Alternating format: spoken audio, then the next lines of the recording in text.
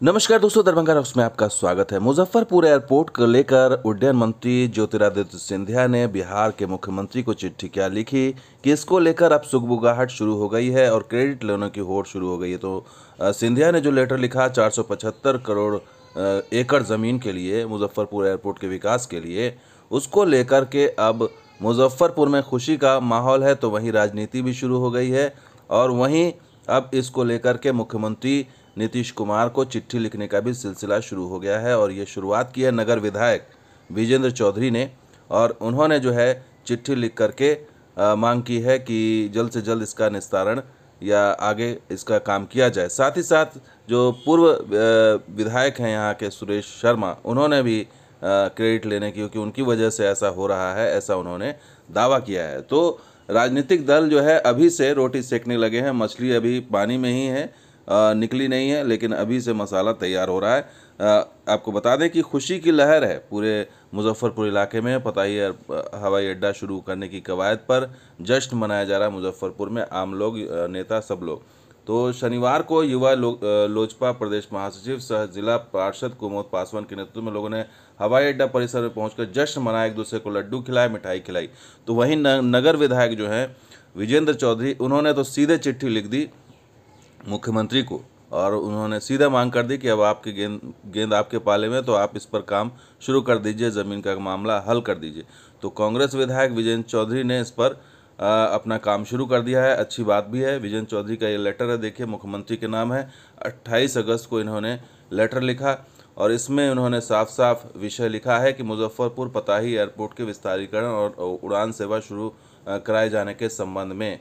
हालाँकि अब ये पता ही एयरपोर्ट को विकसित किया जाएगा या अलग से कोई ग्रीन फ़ील्ड बनेगा, अभी तक वो भी क्लियर नहीं है। इससे उन्होंने लिखा लेटर में कि आपसे आग्रह है कि इस परियोजना को चालू करने के लिए अपने स्तर से आवश्यक कार्यवाही कर, ज़मीन, भूमि अधिग्रहण कर, पताही एयरपोर्ट में उड़ान सेवा शुरू कर, मुजफ्फरपुर के नागरिकों की ये बहुप्रतीक्षित मांगों को पूरा करने की कृपा करें, जिससे कि मेरा और मुजफ्फरपुर के नागरिकों का पूर्ण सहयोग होगा।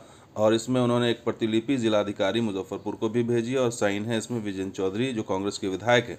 लेकिन पूर्व विधायक अब सामने आए सुरेश शर्मा और उनके ऊपर ये आरोप लग रहे थे कि उन्होंने जो है ठीक से काम नहीं किया और इस वजह से, लेकिन उन्होंने ये लेटर दिखाया पूर्व मंत्री, पूर्व उड्डयन मंत्री का हरदीप पुरी का कि उन्होंने उन, एयरपोर्ट को लेकर जवाब दिया था।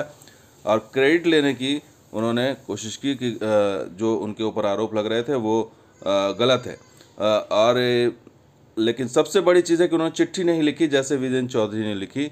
तो बड़ी चीज़ यह है कि चिट, अब जो है प्रेशर बनाने की बात मुख्यमंत्री नीतीश कुमार पर होनी चाहिए, क्योंकि अगर लेटर आया है, लेटर रिसीव हुआ है, और अब उसके आगे की जो तीन सौ चार सौ पचहत्तर एकड़ ज़मीन की मांग की गई है, उसको लेकर के अब बिहार सरकार को परसू करने की मांग बजाय इसके कि क्रेडिट आपस में लें तो मुजफ्फरपुर के जनप्रतिनिधि अगर बिहार सरकार पर अपना दबाव डालें या उसको आगे ले जाएँ मुख्यमंत्री से मुलाकात करने की बात है जहाँ तक चिट्ठी लिखने की बात तो सही है लेकिन मुलाकात करने की जहाँ तक बात है तो वो मुलाकात भी करें तभी ये काम आगे बढ़ सकता है क्योंकि अभी ये बहुत ही इनिशियल स्टेज या प्री मैच्योर स्टेज में है।